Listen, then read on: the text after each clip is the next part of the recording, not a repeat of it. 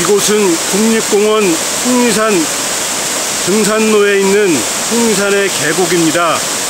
평상시에 비해서 장마 기간이라 엄청난 많은 양의 물이 마치 폭포처럼 흘러내리고 있는 세심정 휴게소 부근의 계곡입니다. 시원한 여름의 풍경과 시원한 물소리 들어보세요.